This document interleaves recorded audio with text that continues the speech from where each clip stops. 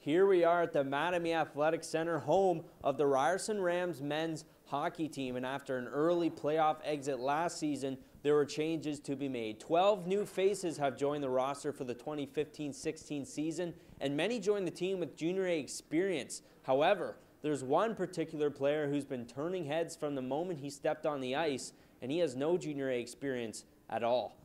Aaron Armstrong of the Ryerson Rams took an unfamiliar path to the CIS. He spent his entire junior career playing for the Wingham Ironmen, a Junior C affiliate, but he's no ordinary Junior C player.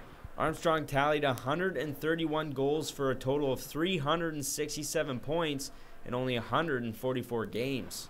Yeah, I, I just try to be uh, be who I've always been. I've always been a little bit smaller than uh, most guys lining up to me, but I just try to try to work a little bit harder, try to be a little stronger on the puck, and um, yeah, it's just it's not about the size, you know, it's about how hard you work, and uh, I'm just going to try to do that again out here this year. Aaron Armstrong has excelled beyond expectation in any league he's faced, whether it's putting up legendary stats in Junior C or winning the ACAC Rookie of the Year last season from the Ryerson Rams Center. Don't expect anything less than extraordinary. For sports journalism, I'm Drew Goebel.